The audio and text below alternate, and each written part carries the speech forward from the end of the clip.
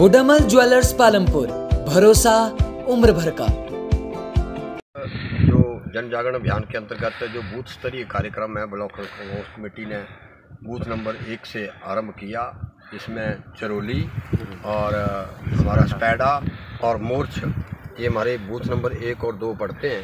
यहाँ हमने कांग्रेस पार्टी की नीतियों के बारे में बताया, और साथ साथ मैं आपको बताऊँ कि जहाँ ये ग्राम पंचायत हारबो है गाँव के लोगों ने ये बताया कि बहुत बड़ा एक ऑब्जेक्शन है कि वर्तमान जो विधायक और मंत्री है, यहाँ आज मैं देख रहा हूँ, चाहे हार हो, चाहे वो चरोली हो, स्पैडा हो, दूसरे तीसरे दिन पानी आता है। लेकिन यहाँ का पानी जो है वो दूसरे विधानसभा क्षेत्र को गया है और इससे ये साफ़ ज़ाहिर होता है कि वर्तमान मंत्री जो वर्तमान विधायिका है, वो कहीं ना कहीं इसने इस इलाके के लोगों को इग्नोर किया है और हम जो है इसका कड़ा विरोध करते हैं।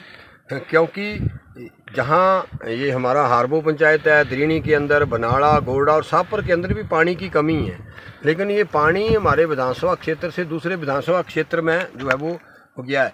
तो मैं जिस तरीके से हमने जन जागरण अभियान में पाया, चाहे वो हमारा रौण हो, स्पैडा हो, चाहे हमारा हार हो, ये और चाहे हमारी ये इसी लेड़ पंचायत की बतूनी हमारा गाँव पिछले लगभग मैं कहता हूँ चालीस वर्षों से यहाँ विधायक जीते हैं और वो मंत्री भी बने हैं। लेकिन इस इलाके की उन्होंने अनदेखी की है और जब मैं जब मैं स्पैडा में था और ख़ासकर अब हम मोर्च जा रहे हैं, इन पंचायतों का यही कुल मिला के लोगों का अब मैं कहता हूँ, लोकतांत्रिक प्रणाली में विश्वास ही उठ गया है।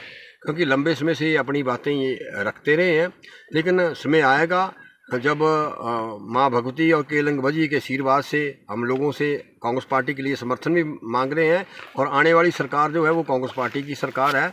और मैं कहता हूँ खबरू हमारा स्वर्गद्वारी खबरू इलाके यहाँ पर्यटन की दृष्टि से आगे बढ़ने वाले हैं। और हम चाहते हैं कि आने वाले टाइम में इलाका, ये कुफरी की तरह इलाका है। एक मैं चाहता हूँ कि टूरिज़्म विभाग का जो एक ट्रेनिंग सेंटर है, हमारे झारखंडी में कहीं आ जाए तो एक तो बच्चे पूरे प्रदेश के यहाँ कांगड़ा चंबा के ट्रेनिंग करने आएँगे। उसके साथ साथ हमारा जो टूरिज़्म का रोड मैप है इस इलाके का और जो खासकर बेरोजगार लोग हैं, वो आत्मनिर्भर हो।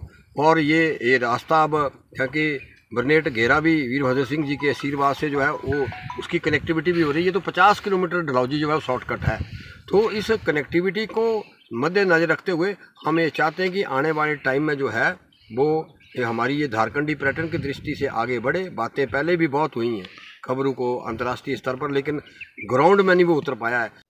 बुडामल ज्वेलर्स पालमपुर, भरोसा, उम्र भर का।